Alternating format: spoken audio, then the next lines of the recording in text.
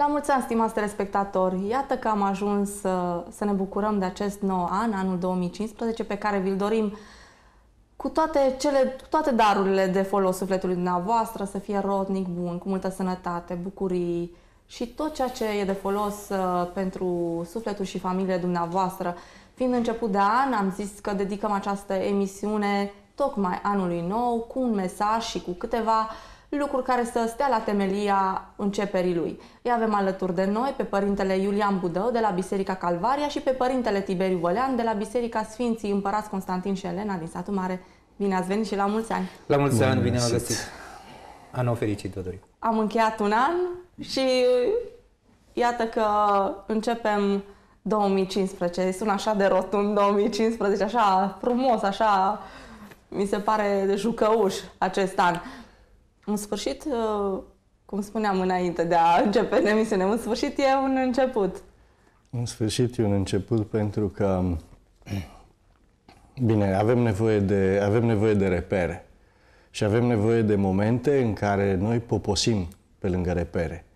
Și un început de an, pentru mine, e întotdeauna un moment în care punem punct la ceva care s-a terminat, dar același punct începe altceva. Și na, suntem, uh, suntem cu toții bucuroși că sperăm că anul care vine ne va aduce, va face, va drege și toate astea. Și cred că e bine să fim, uh, e bine să fim optimiști. E bine să fim optimiști. Pe de altă parte, eu cred că fiecare, fiecare început e și un moment în care, un moment în care ne reînnoim jaloanele ne renoim jaloanele. Cam ce mi-aș dori atunci când se va termina anul acesta să fi realizat, cam ce fel de om aș vrea să fiu când se va termina 2015. Eu cred că asta e o întrebare bună pentru un început. Un gând înălțător, așa, un gând înalt, cel mai, cel mai profund și cel mai important gând, cred că, al nostru, nu? Ce vrem să fim. Și atunci să ne lăsăm ghidați de acest gând, de primul gând, care îl simțim cel mai puternic și să încercăm să ne construim pe noi din prisma acestui uh, gând, nu? Asta ar însemna. Da, de obicei, păi... la început de an punem, ne facem multe planuri, uh, încercăm așa cumva să conturăm anul, să vedem cam ce vom face, cum va fi, ce avem de gând să realizăm. Părinte Vălean. La sfârșitul anului, dacă trebuie să vorbim despre anul nou ca atare, ca sărbătoare civilă, cât și în plan bisericesc, e, o, e un în bilanț, până la urmă. Haideți să facem socoteala, ce am făcut, ce n-am făcut, ce trebuia să facem, cum am fi putut face ă, și ce trebuie să facem de acum înainte. Proiectele pe care le avem în vedere în anii viitori, dar toate acestea trebuie să să le desfășurăm prima dată în mintea noastră și să vedem, orientându-ne spre Cel care ne dăruiește timpul pe care îl avem la dispoziție. Noi trăim sub vremuri. Nu Dumnezeu trăiește sub vremuri, Dumnezeu trăiește în veșnicie. Noi, ca să obținem veșnicia, trăim în timpul afectat nouă de către Bunul Dumnezeu. Și timpul acesta îl măsurăm, pentru că noi suntem cuprinși în forme palpabile de existență, oarecum și timpul parcă are o formă a lui. Și uh, o măsurăm. Noi ne facem și instrumentele de măsurare, noi determinăm cât să dureze o etapă sau alta din timp, segmentele acestea de timp numite um, secunde, ore, zile, săptămâni, luni, ani, uh, sunt uh, instrumente omenești de măsurare a timpului.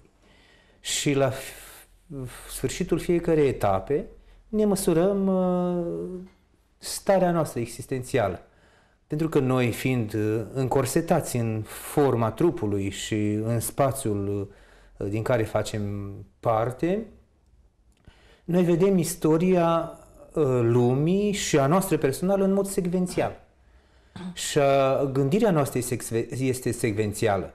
Numai la Dumnezeu totul este instant. Adică Dumnezeu vede istoria de la început și de la, în același timp și sfârșitul, și începutul și sfârșitul. Noi însă văzând secvențial, totdeauna trebuie să avem o gândire elaborată pentru etapa care a trecut și etapa care vine. Și atunci timpul e și în mâna noastră oarecum. Adică îl putem folosi ghidându-ne după toată școala vieții pe care o avem ca să îmbunătățim și să avem cât mai multe experiențe și evenimente în timpul pe care noi îl avem la dispoziție ca să-l trăim. Că de fapt noi asta facem, noi trăim timpul. Numai că timpul se scurge prin trăirea noastră fără să vrem și fără să putem controla. Și atunci toată exigența trebuie să o avem pentru a putea uh, economisi cât mai mult timpul spre a ne îndeplini uh, scopul nostru e pământesc. Uh, zice Hristos, uh, de fapt în cartea Apocalipsei, eu sunt Alfa și Omega, cel ce este, cel ce era și cel ce vine. E ca și timpul care se scurge din veșnicie și reintră în veșnicie prin noi, trăită fiind de noi. Și apoi, anul nou e mai mult o presupunere decât uh, o certitudine. Anul care a trecut este o certitudine. anul viitor, anul care începe, e ceva în care noi presupunem că s-ar putea întâmpla ceva. Dar niciodată nu trebuie să uităm că timpul pe care noi avem impresia că îl controlăm uh, este un dar de la Dumnezeu. Ați auzit că s-a spus de multe ori time is money. Ei să știți că nu e adevărat. Timpul este viață, nu bani. În viață, dacă mai câștigi și bani, asta e foarte bine, nu? E, nu e interzis. Dumnezeu nu urăște pe bogați. Însă, timpul economisit bine, nu spre a face bani, ci spre a face bine și spre a dărui cât mai multă iubire celor cu care împreună viețuim. Aceea face ca timpul să fie un timp frumos trăit. Și anul care vine, ar fi bine ca oamenii să, să se trezească și să percep, perceapă realitatea duhovnicească a vieții cu mai multă acuitate, pentru că numai având starea asta sfletească bună, putem să ne bucurăm de toate secundele timpului și ale vieții pe care le trăim. Spuneți acolo de experiențe, ca să, să, să trăiască experiențe. Iarăși, aici uh, vroiam să ajung că, uh, că întotdeauna ne raportăm bala trecut, bala viitor, dar eu cred că ar fi mai important să, să ne bucurăm de acea clipă care știm că o trăim în mod cert, decât uh, tot așa să ne raportăm e bine să se facă un bilanț și normal. E, poți să vezi de unde pornești sau unde ai ajuns și unde vrei să, ce vrei anume să atingi. Dar să trăiești acel moment. Pentru că dacă, dacă mergi ori în viitor, ești ori în trecut, ori în viitor, dar nu, nu ai momentul, acel clipa. Așa uh, e. Cei mai mulți oameni uh, se gândesc prea mult la viitor uitând să trăiască prezentul. Mulți se gândesc la trecut, vai cum a fost atunci, vai cum va fi atunci. Dar foarte puțin dintre oameni uită să trăiască clipa, adică prezentul continuu. Dacă ar fi mereu în prezent continuu, să conștientizăm tot timpul că Dumnezeu e lângă noi, timpul s-ar scurge altfel. Dacă noi oscilăm mereu între trecut și viitor, timpul prezent nu mai percepem. El fuge de sub noi, fuge de sub stăpânirea noastră. Și atunci aici nu mai e o viață trăită frumos. E o neîncetată alergătură înspre ceva nedefinit uh, și chiar necunoscut. Chiar era așa o vorbă, nu știu, ne-am citit-o într-o carte, că uh, Dumnezeu bate la ușa casei numai că tu nu ești acasă, ori ești uh, în trecut, ori ești în viitor, mai ai, acasă nu ești ca să poți să-i deschizi și să-l primești în uh, viața ta. Eu nu știu dacă îl citesc greșit pe, pe fericitul Vladimir Ghica, dar uh, el spune un lucru. Prezentul este singurul loc în care se construiește veșnicia. M-aș întoarce la o reflexie a lui Heidegger, după aceea preluată de Levinas. Mă rog, nu, nu, nu, nu vreau să complic lucrurile mai mult decât sunt ele. Dar uh, Levinas vorbește despre, despre momentul conceperii ca despre singurul moment în care ființa umană nu este sub stăpânirea morții. Și în calendarul, în calendarul latin, prima zi a anului este sărbătoarea Sfintei Fecioare Maria, născătoare de Dumnezeu. Adică Teotocos. În limba română îmi place foarte mult că îi spunem născătoarea de Dumnezeu, pentru că e născătoare continuă. Îmi sună, îmi sună verb de ăsta, uh, uh, un, un gen de prezent continuu, cum spunea părintele mai înainte. Născătoarea de Dumnezeu care l-a născut și am sărbătorit Crăciunul, care îl naște în continuare în noi. Și aș zice că un gând bun, frumos, pentru un început de an, acum că na, mulți dintre, dintre telespectatorii noștri își revin după bubuiturile din noaptea de Revelion, după, mă rog, eventuala nevoie de mare sau mai știu eu ce ca să ne revenim, uh, sunt zilele astea un picuț mai liniștite.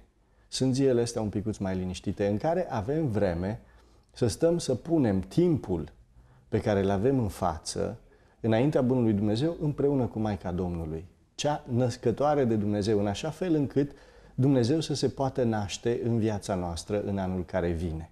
Și pentru asta avem nevoie de momentele de reflexie, pentru asta avem nevoie de momentele în care, în care să punem timpul acesta în mâinile lui Dumnezeu, uh, în care să, să percepem, cum zicea Părintele, timpul ca pe un dar, nu cum zicea Blaga, oprește, Doamne, ceasornicul cu care ne măsori destrămarea, ci din potrivă, ceasornicul cu care ne măsori în Dumnezeirea, nașterea, nașterea lui Dumnezeu în viețile noastre. Și cred că uh, o astfel de privire asupra, asupra timpului ne ajută, ne ajută să nu proiectăm fericirea în, în, în, în viitor, ci să descoperim că El, în clipa prezentă, este, este alături de noi. Am mai spus-o, dar îmi place să repet. Um, mult, una dintre distracțiile pioase ale creștinilor este să ne uităm către trecut ca să ne căim de păcate, să ne uităm către viitor ca să ni se facă spaimă și să nu trăim niciodată în prezent. Și ajungem, ajungem să ne fugă să ne fugă printre degete fericirea pe care o avem, pe care o avem la dispoziție. Și eu cred că, cred că sensul, sensul uh, unei priviri creștine, cinstite asupra, asupra timpului, îl poate da numai și numai veșnicia. Veșnicia trăită în clipa care ne este dată ca, ca, ca, și, ca și un dar. Pentru că trecutul deja nu mai este. Da. Uh, în, viitorul încă nu este. Singurul lucru care există, care are ființă, care ființează, e clipa prezentă. N-aș vrea acum că tinerii cel puțin au tendința să facă rapid niște salturi mortale în filozofie și anume să zică, bun, singurul lucru pe care îl avem este prezentul și atunci ne întoarcem la proverbul celebru Carpe, Carpe diem. diem. și atunci șope ei. Ce înseamnă experiență? Păi înseamnă că trebuie să mușc șarpele să văd dacă e veninos. Trebuie să încerc și asta, să încerc și ailaltă, să încerc și ailaltă. Nu, carpe diem. Carpe diem înseamnă cu totul altceva. Chiar aici e explicat foarte frumos uh, acest, uh, acest uh, mesaj de a străi clipa și Exact. Faptul de a, faptul de a trăi clipa înseamnă, înseamnă a percepe fericirea pe care ți-o pune Dumnezeu în lăuntrul ei, în fiecare clipă, acum, aici. Ă, să descoperi fericirea aia dincolo de beția simțurilor, dincolo de voluptatea pe care noi o confundăm cu fericirea. Ă, îndeoseb la tinerețe, dar și la bătrânețe. Ă, de a trăi, de a trăi veșnicia din, din fericirea pe care o putem trăi într-o clipă. Dacă stăm, dacă stăm să ne gândim, aș da pur și simplu așa, doar un, un, gen, de, un gen de asemănare. Când, când, ne, când suntem fericiți, sau mă rog, zicem noi că suntem fericiți, ne dăm seama că timpul are cu totul altă consistență. În schimb, um, o, o, o noapte în spitalul de urgență, uh, timpul are pe, pe, pe, într-o noapte la spitalul de urgență, timpul are cu totul Se altă consistență. Altă, da. De asta de asta zic că indiferent, indiferent ce ne-a pregătit Dumnezeu pentru, pentru, pentru lunile care vin, indiferent de ce, de ce, de ce are să vină, e, e fundamental să putem trăi fericirea, fericirea din clipă. Este, este fundamental. Iar fericirea asta nu poate fi percepută altfel decât ascultând, Tăcerea asta, tăcerea asta care vorbește. Tăcerea asta care vorbește, oprindu-ne. Oprindu-ne. Pentru că altcumva, altcumva, exact cum zicea părintele, alergăm, alergăm, alergăm și totul devine alergătură. Totul devine alergătură. În uh, Biserica Ortodoxă și, uh, și Greco-Catolică, anul nou începe cu, prin prăznuirea unui mare sfânt, Sfântul Vasile. Poate că n-ar avea foarte mare legătură cu Sfântul Vasile cel Mare anul nou, pentru că anul nou civil e un an nou civil, până la urmă. Anul nou bisericesc începe la 1 septembrie. Așa uh, e. Momentul când au început oamenii să măsoare timpul. S-au lepădat de veșnicie, au căzut din rai și atunci fructele fiind coapte, Dar de ce au tocmai, zis că... tocmai în prima zi a anului nou este prăsnuit Sfântul Vasile? Sfântul Vasile cel Mare uh, e un împlinitor al, uh, al iubirii. E un om aflat în timp care a rămas în timp și în istorie, astfel încât uh, a, el a fost un deschizător de drumuri în biserică prin ce a făcut el ca organizare în, în, în biserica post-persecuții. Imediat după perioada persecuțiilor romane, Sfântul Vasile cel Mare, ajungând episcop, a organizat biserica într-un chip strălucit. Era ca un nou început al viețuirii bisericii pe pământ. Și din cauza aceasta, Sfântul Vasile cel Mare este foarte cinstit la uh, noi, cel puțin la Biserica Răsăriteană. Și Sfântul Vasile cel Mare a organizat, cum am spus, biserica astfel încât să fie în duhul iubirii de oameni. Nu numai individul sau persoana creștină să fie învățat ca să facă fapte bune în taină sau la vedere, ci însăși biserica a fost antrenată în chip văzut și organizat cu așa numita acțiune pe care el a întemeiat-o Vasiliada. Îi se spunea Vasiliada de pe atunci. Vasiliada era o acțiune de, o luptă, o, o acțiune de calitate extraordinară, nemai văzută în biserică până atunci. Bineînțeles, și persecuțiile romane au jucat un rol în neputința bisericii de a se organiza uh, la vedere. Dar după ce creștinii au început să aibă deja biserici uh, pe înălțimi în cetățile uh, din vremurile apuse deja, atunci biserica a ieșit la vedere, a ieșit la lumină și și-a arătat marea ei putere de a regenera societatea. Și uh, Sfântul Vasile cel Mare acest lucru l-a făcut. A fost unul din capii bisericii care a regenerat societatea din temelii. A adunat în ea atâția păgâni încât uh, i-a încreștinat aproape pe toți câți a avut la îndemână. Era o, era o stare de uh, efervescență religioasă atât de puternică încât în mod masiv păgânii intrau în creștinism pentru că vedeau că această religie, ace, această credință de care ei au ziseră doar lucruri rele în timpul persecuțiilor romane, a ieșit la lumină și și-a arătat adevărata sa identitate și valoare de a revigora neamul omenesc și de a-l restaura uh, în sensul duhovnicesc și nu numai duhovnicesc, ci și în planul veșnic de existență. Această restaurație se lucrează prin biserică și prin ierarhia ei. Cei care au în mod sacramental puterea de a lega și a dezlega păcatele oamenilor. Și acest lucru nu e puțin, ci tot ca un dar al lui Dumnezeu ancorat în timpul nostru văzut. Timpul pe care ne-l dă Dumnezeu la dispoziție ca să luptăm și să obținem clipa uh, veșniciei, acel prezent continuu aceea, cum spunea părintele Dumitru Stăniloae, marele părinte Dumitru Stăniloae, că acel prezent continuu pe care îl obținem prin mântuire e un fel de duminică fără sfârșit. E da, duminica da. fără sfârșit, ziua opta, ziua care nu se mai termine niciodată.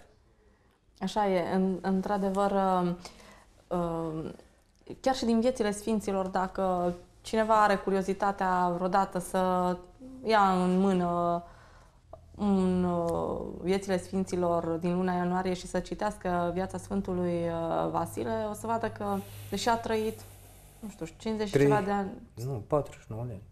Așa, Poate te ține minte. foarte puțin, de tânăr a murit, nu... Da, da, a Uh, fost a realizat extraordinar. uh, foarte multe lucruri. În deci, puțin timp. În puțin timp. Deci a concentrat toată, toată, Toată viața, energia toată asta energia domnicească. pentru a reface, cum spuneți dumneavoastră, tot, uh, tot acest sistem. E impresionantă viața lui și chiar uh, cine are puțin timp uh, le-aș recomanda cu mare drag să, Și nu să numai citească atât. Viața Sfântului Vasile cel Mare. Sfântul Vasile cel Mare are scriere care nici măcar nu sunt cunoscute uh, pentru publicul larg, nici măcar pentru înalții teologi. Are cel puțin 600 de tratate care nici măcar uh, nu sunt uh, traduse în limbile moderne.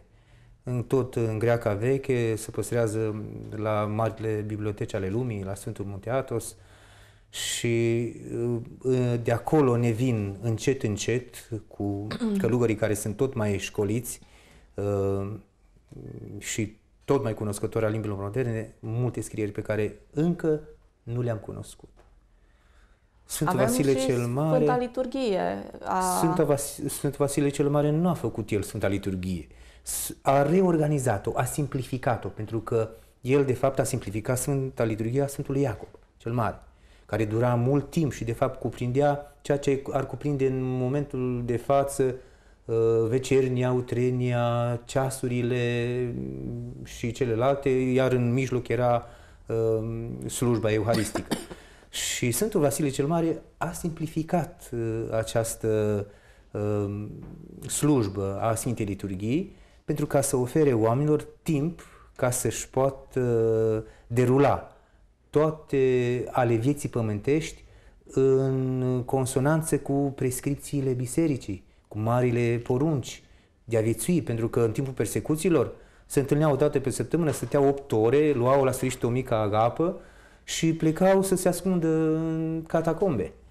Și Sfântul Vasile cel Mare a regenerat tot acest lucru și le-a dat ocazia ca la fiecare Sfântă Liturghie să se poată împărtăși cât mai mulți. Pentru că m, în momentul istoric de atunci, creștinii se împărtășeau la fiecare Sfântă Liturghie, lucruri pe care ar fi uh, pe care l-am dorit să se realizeze și astăzi. Sunt mulți care se fereze de acest lucru și Sfântul Vasile cel Mare este un deschizător de drumuri și în acest sens. El a dat putința oamenilor ca să se împărtășească cât mai des această slujbă organizată de biserică, mă rog, Sfânta Liturghie, împreună cu a Sfântului Ioan Gură de Aur și a, cea a Sfântului uh, Grigorie, Papa al Romei, care a fost unul dintre cei mai mari mistici, care este sfânt și noi îl apreciem foarte mult, uh, la liturghia darurilor mai înainte sfințite. Pentru ca omul să se poată uni cu Hristos cel veșnic. Pentru ca omul aflat sub vremi să poată cunoaște mărăția lui Dumnezeu și veșnicia lui prin Sfânta Liturghie, care este însăși viața lumii. Că Hristos se identifică cu noi și noi împreună cu El și astfel dobândim viața veșnică, timpul cel nepătruns de uh, necuviința lumii. Timpul cel curat, cel veșnic, cel care, cum am spus mai înainte, e ca o duminică fără sfârșit. Cât de mult iubim duminica noi. E așa e și clipa. Ar trebui să fie în fiecare clipă o duminică fără sfârșit.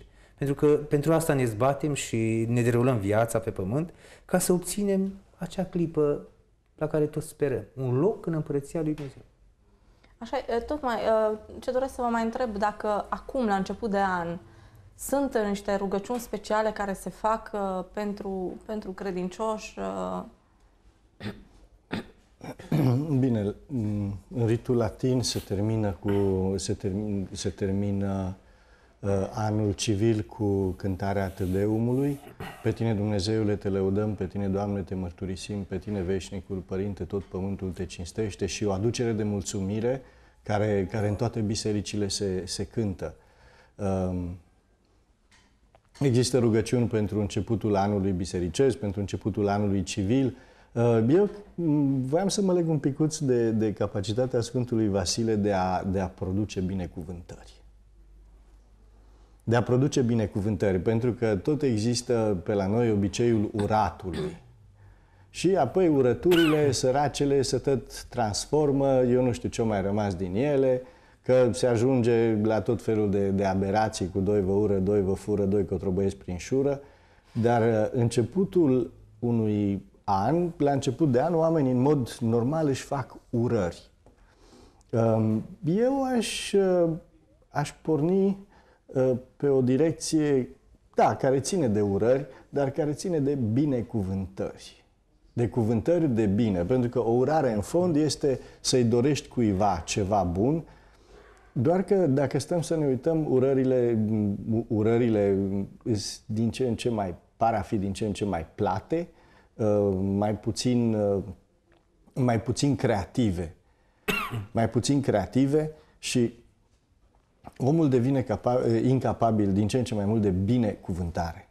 Și aș provoca, i-aș provoca pe telespectatori să încerce să se vadă cu oameni cu care se văd în zilele acestea, imediat uh, după anul nou, și ne vedem cu toți și toată lumea urează exact fix aceleași lucruri. La Sănătate, mulți la mulți ani, ani, prosperitate, împlinirea tuturor dorințelor și pe această cale. Amin. Hai să vedem dacă reușim să facem urările sub formă de binecuvântare pentru celălalt. Asta înseamnă că, în primul rând, trebuie să-l văd că vorbeam de clipa prezentă. Trebuie să-l văd pe celălalt în clipa prezentă cu ce? Cu nevoile pe care le are și cu calitățile pe care, le poate, pe care eu i-aș dori să și le poate dezvolta. Vorbesc la nivel de om. Și să vedem dacă reușim să facem urările în așa fel încât să-ți dea Dumnezeu două puncte și de acolo să pornim împlinirea unei nevoi pe care reușim să o vedem și uh, dezvoltarea unei calități. Ei, aia cred că ar fi în sfârșit o urare și o binecuvântare pentru cel cu care ne vedem. Pentru că, din păcate, la noi asta este Sfânta și minunata limbariță tradițională. Uh, avem pentru blesteme o grămadă de poeme, uh, pentru tot felul de trăznăi, dar pentru binecuvântare stăm mai prostuți. Așa cum pentru calificative negative avem un vocabular extrem de bine dezvoltat, dar când vine vorba să urăm de bine, să binecuvântăm, acolo ne cam, ne cam are vocabularul un porumb. Ei, să vedem dacă reușim să facem asta. Asta mi se pare o provocare pentru un an. Pentru un an. Domnule, anul ăsta știu că e o persoană care are nevoie, are nevoie de cuvinte de, de încurajare, de binecuvântări din partea mea. Că una e ce e drept, binecuvântarea pe care mergem, o luăm la biserică, de la preot, de la nu știu ce, dar noi toți suntem, prin botez, suntem chemați să fim preoți. Și prin botez, să, să fim o, o, o preoție împărătească, prin botez suntem chemați să binecuvântăm la rândul nostru. Părinți pe copii, copii pe părinți și așa mai departe. Între prieteni. Asta mi se pare o provocare. Domnule, hai să vedem. Se poate ca anul ăsta Uh, limbajul meu în materie de binecuvântări să crească și să mai scadă limbajul de binecuvântări printre dinți. Să găsim și un lucru bun și un lucru care să, chiar și pe, pentru acei oameni ca, pe care poate, cărora tot timpul le găsim un nod în papără, de data asta să căutăm un lucru bun la el și acela să-l scoatem în evidență și să, să reușim să ne apropiem și de ei. A zis bine părintele și mi-a plăcut foarte mult. Uh, că binecuvântările sunt vorbiri de bine. E, cât de bine e să ne binecuvinteze Dumnezeu, adică să ne vorbească Dumnezeu de bine pe noi. E, asta e, lux. un mare dar. Sigur că da. Dar tocmai prin binecuvântarea Bisericii Dumnezeu ne oferă acea vorbire de bine când ne spune cât de mult ne iubește. Înmulțim... Uh... În, exact. Binecuvântarea Biserica Ortodoxă uh, se dă la fiecare Sfântă Liturghie în mod plenar, la toată lumea. Uh, și chiar Sfânta Liturghie se sfârșește cu uh, formula liturgică binecuvântarea Domnului peste voi, cu al său har și cu a sa iubire de oameni. Totdeauna. Și acum, și pururea, și în vecii vecilor. Adică este un plus peste plus uh, la, la sfârșitul Sfintei Liturghii. Ne dă cineva mai mult decât avem nevoie. Pentru că veșnicia nu știu, ne putem impropria prin uh, lucrarea noastră de mântuire. Dar uh, nu știu cât, uh, omul nici nu poate percepe cât ar fi veșnicia. E ceva fără sfârșit. E, singura, e singurul mod de percepție al veșniciei. Ceva fără sfârșit. Dar noi, a, dacă, am avea, dacă am avea veșnicia fără Dumnezeu, aceasta s-ar transforma nu în binecuvântare, ci în blestem. Pentru că reversul binecuvântării e blestemul, adică vorbirea de rău. Atunci când blestem pe cineva, de fapt îl vorbești de rău. Și Sfântul Vasile cel Mare a alcătuit într-adevăr acele celebre rugăciuni de dezlegare de blestem. Deci, în afară de faptul că el a fost ca preot uh, al bisericii, ca mare preot al bisericii, un om care binecuvânta cu darul lui Dumnezeu, nu din el, nu de la el, ci de la Dumnezeu, tot el ne-a arătat că există și un revers al binecuvântării care este blestemul și ne-a oferit șansa de a cunoaște că și blestemele se pot transforma în binecuvântări dacă purtăm crucea lor și dacă cerem cu insistență ajutorul lui Dumnezeu și, și um, lucrarea bisericii ca să se reverse uh, haric asupra noastră. Sfântul Vasile cel Mare, nu știu ce am putea să spunem mai mult despre el. A fost un extraordinar. Ar fi bine să rămânem uh, cu ideea că Dumnezeu ne binecuvintează tot prin oameni. Pentru că El lucrează mântuirea noastră tot prin oameni. Prin oameni aceia care, zicea Părintele, au acea preoție împărătească, împărăție universală, la care toți suntem chemați, indiferent că suntem bărbați sau femei. Preoția sacramentală e cu totul altceva. Este uh, un om încadrat sacramental, este un vas al alegerii, alegerii lui Dumnezeu prin care își revarsă darurile sale asupra uh, comunității religioase. Dar împărăția și preoția veșnică se ia de toată lumea care are dorința de a se mântui. Așa să fie, ne aflăm la finalul emisiunii. Binecuvântarea Bunului Dumnezeu să vină peste tot și noi unii pentru alții, să, să avem, acea, așa cum zicea și Părintele Iulian și cum a spus și dumneavoastră, să existe această binecuvântare unii pentru alții. Stimați telespectatori, Bunul Dumnezeu să vă învăluie cu toate darurile de folos uh, dumneavoastră, să aveți un an bun și frumos. Numai bine, rămâneți în continuare cu Informația TV.